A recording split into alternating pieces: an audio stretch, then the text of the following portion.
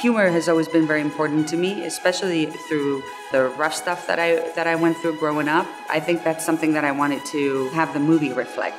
My name is Eva Vives, and I'm the writer and director of Nina.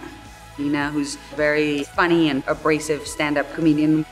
She's in an abusive relationship and trying to get out of it. Really, the movie is about opening herself up to love and trying to have a real relationship with the guy that she meets.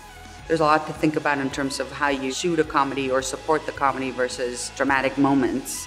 The challenge of this is the tone that, you know, she's a stand up comedian, so there's a lot of humor and it's very funny. But then when these very serious moments come, I want to treat those with respect and not, you know, downgrade what's going on in any way.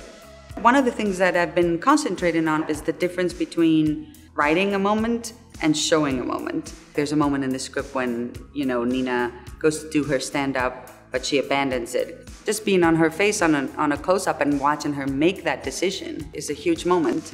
I've been thinking about this story for a long time because it's very personal and I always knew I wanted to write about you know that aspect of my life and but I didn't know exactly how to frame it. You know, the idea of her being a stand-up comedian came really quickly and after a while I think you get used to recognizing what works for you and what doesn't. Once I have that, I usually write really fast, at least the first draft, and then I spend a lot of time rewriting.